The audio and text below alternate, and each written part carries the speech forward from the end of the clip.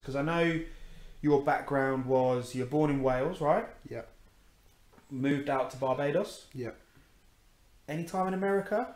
Mm, bits and pieces, but never lived there. So how come you moved from Wales to Barbados? So- that's quite a big change from the from the hills in Wales, where there's sheep everywhere, to the Caribbean shores is quite a, a big difference. How, how did that come about? It was a massive difference at the time. Um, my dad just got a job Okay, um, that he couldn't turn down, I guess. nice. So we all went out to Barbados, um, which was brilliant. Obviously, as soon as I went out there, there's no there's no real great standard of football. Um, you know, It's true. you know. I mean, the talented talented blokes out there, Yeah, like you get left for dead. yeah. So we're playing in North Wales. You know, the, the, every every team would have you know a, a couple of lads who are all right, but then over there, there is some blokes with serious skill, yeah, but the the football knowledge over there isn't like it is over over here. right. Okay. So there's no so there's a there's a huge gap. You know, the lads are like proper talented, proper skill, but there's a huge gap in knowledge and tactics and all the rest of it. right. Whereas cricket, they're all just mustard. Because you see that, and I, I- well, who played? I bet everyone supports Man United, right? Yeah. Who played? Is it Dwight Yorke? Dwight Yorke? Andy Cole? No, Dwight Uh, Yorke. One of them's from Barbados, isn't he? Dwight Yorke's from Or Caribbean Island. Trinidad, I think. Right, yeah. So that's how obviously the Man United link with the Yeah. Caribbean's big. But going on to the cricket, it must have been a complete change because you're growing up in Wales playing, I presume, your local village club or whatever it was, Yeah. and then obviously Barbados isn't a massive place. No. You can drive around the island in a day, half a day probably, Half a day, yeah. half a day. So I guess everyone knows each other. And Yeah. you know all the promising young lads coming through. But in terms of the coaching aspect, how did that differ? Because you watch the IPL or you watch the CPL and you see all these young lads just coming out swinging. Is that the way they're brought up playing? Uh, Aggressive attacking cricket because they can, yeah. because it's good wickets, whereas in the UK they can't because it's swinging and nipping. Yeah. Would you say that's fair? Hundred percent. You, you, they, the coaches that I had Yeah.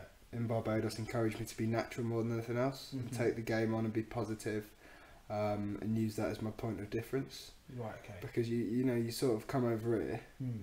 and you can go to any, uh, like under fifteen club nets, Yeah. under fifteen county nets of any club or county, and you can guarantee you know how the batters are going to bat. Before you even get there, they're all going to have a nice sort of upright posture, nice high back lift.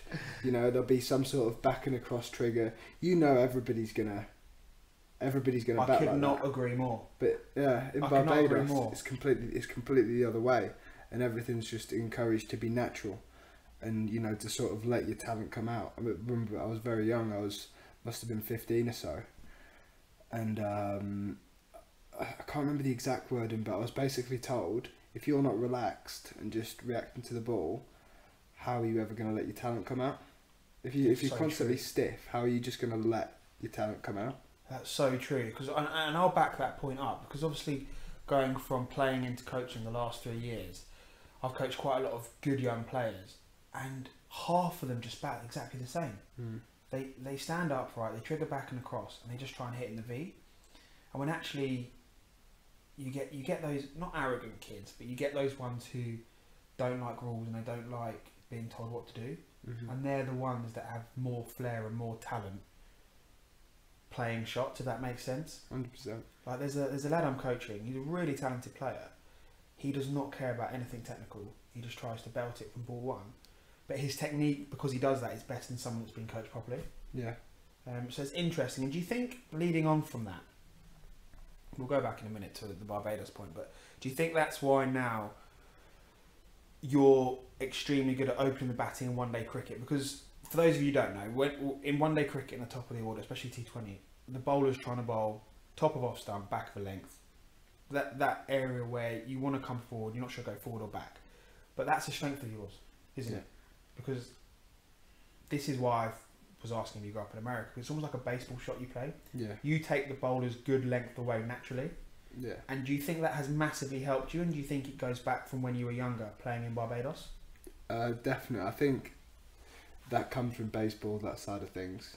Um, You like your baseball, don't you? yeah, I do. that it's like a I don't know, it's like a low strike. Right. Okay. So that's like just the sort of like top of the stump's length. Yeah. And when I played baseball, I was good at hitting low strikes, and I was good at hitting low balls as well. So when the ball was out the strike zone, reaching down and still making a good contact. Right. Okay. So that that was like one of my strengths. Whereas when somebody could like throw proper heat, and they could get it up in the strike zone, then I'd get done. So if I if I was get playing at somebody who could throw good gas, and they were hitting the top of the strike zone, I wouldn't get on base at all. But especially if they had some sort of breaking ball that could do me for, for lack of pace. But when guys got it down in the zone, Yeah. I could I could always I could always get on base. See, that's amazing. And for anyone listening out there, you obviously played a lot of baseball, didn't you, when you were growing up, and Yeah. other sports. Playing other sports has massively helped you in your profession now, hasn't it? Of course, it has. And a lot of kids now go, no, I'm going to concentrate on cricket or football or rugby Yeah, because they're the way. naturally good at it. But you've got to play other sports, man. You have to. You have to. You How can, have to, how have can you to. not? Because you would not be able. I well, listening to that, I would say you would not be the player you are now without having played baseball when you were younger. No. You wouldn't be able to hit a bowler's good length naturally. Yeah, exactly. I don't think there's anyone in the UK that can do it consistently as well as you do. Right. Really, if we're being brutally honest. Yeah. Everyone hits through, either stays leg side of it, hits through cover, because they've been brought up in a naturally correct way. Yeah. There's no one that just stands in the middle and hits a bowler's good length over mid wicket in cow corner. you know what I mean? It's not, is it? no, it's pretty rogue. And people are like, oh, he's slogging, but actually, it's slogging if you do it three and ten times. Yeah. But you're doing it like 80, 90% of the time, Yeah. especially in the top six, you've got one fielder out of deep square. Yeah. People just can't bowl to you. Well, people have started changing now. Have they? What have they been doing? People started going cow and deep square. But then surely that's You it then plays into my hands because then you can stay leg side of it, Yeah. And then anything on middle and off stump. But I, I don't like staying leg side of it. right? Okay. So even when they put those two out, yeah, I'm still looking to hit the ball hard and flat. Because there's only two blokes out there. you've got to get it. Even you get your power five ten yards either side, it's Yeah. four, isn't it? Because as soon as bowlers do that, they all miss short. Right. So now I'm just playing everything off the back foot because they know they, as soon as they do that, the bowler doesn't have the, doesn't the, none of them are brave enough unless the top top bowlers to come full, to miss full because if they miss full, it's just poor bowling. So they'll always miss short or bowl a cutter or change of pace or something. and they have to get it just right, otherwise it's runs, isn't it? Yeah, exactly. Which is interesting. Interesting. So it's nice how your other sports have now massively helped what you do. But going back to Mm. your Barbadian point of playing different sports and being quite natural, then coming over to the UK Yeah, and going to school in the UK from what 16. yeah. How did that link come for you getting to Sussex? Because obviously you went. For those who don't know, Phil, you went to Surrey. Yeah, right? I went to But going back to, to the cricket, you then got signed when you were 18, 19, didn't you? Yeah, I got signed when I was. Yeah, I'd have been eight, 18. No, Straight I out of school, when I was 18, nine, uh, 19. 19. Yeah, So I remember because I was on the staff here at the same time, and we played club cricket together at Brighton. And what I what, what I remember watching you in the nets, and at times there was this young kid who absolutely whacked it against everyone, yeah, and I was like, "Wow, this kid can play." yeah, And there's something inside you like this kid can play. And then there are other times I'd watch you back. And this is not being disrespectful to you, but you looked awful, yeah. and you're trying to reverse sweep people in the nets like seamers, and that's what I mean. What I was trying to say earlier about listening to people and doing it your way because the typical Yeah. English way is be correct, play properly.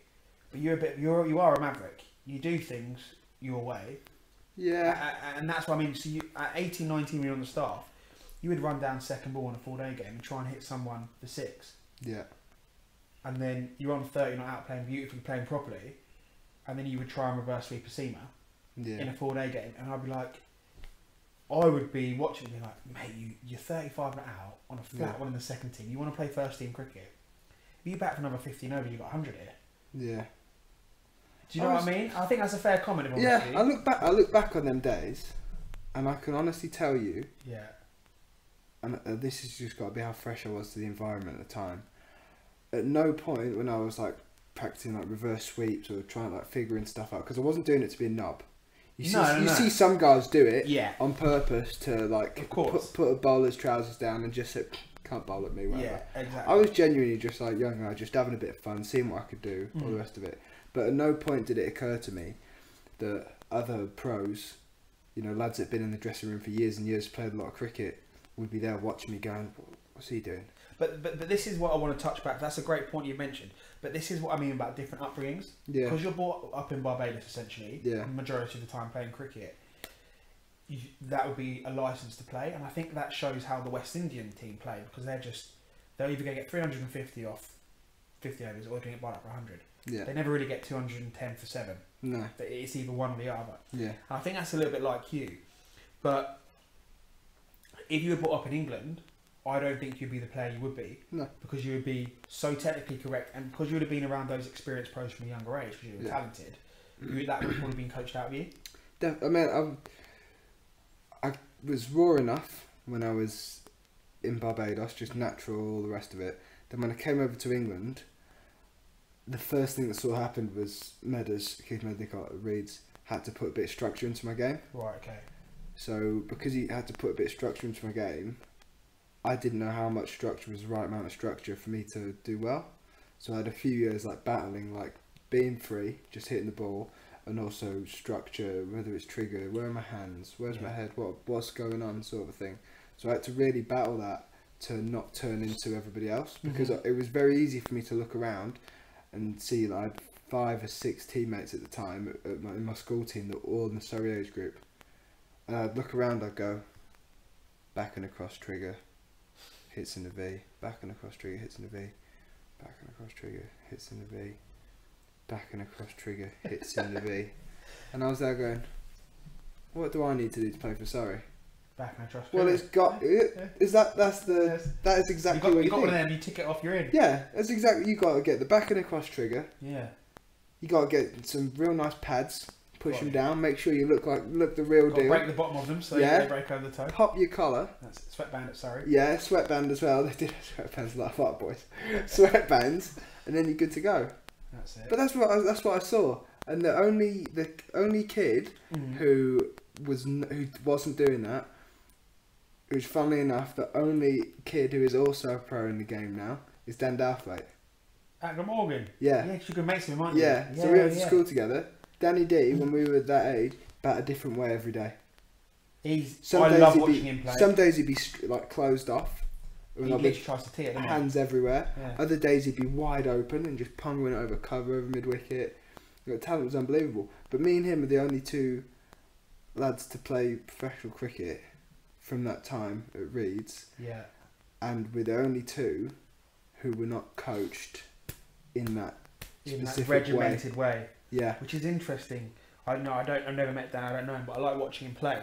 Be interesting to ask you. I'm sure he won't let me ask this, even though I've never met him. It is was he someone that listened to rules or not? Because he seems to me as he seems to me as a character. The way he plays. If you said please do this, he'd be like, do you know what? Do one. Yeah. He, no. he Do you know what I mean? He doesn't. But that's funny though because you do it your way, a bit of a maverick. He obviously wants to do it his way. But you- you're the only two that Yeah. have made it. Everyone that's got a back and across trigger is probably head still falling over to the offside now. And they're getting done LBW. So, yeah, I think you've got to break rules. I think the best players break rules and they do it their way. I think they do. We were very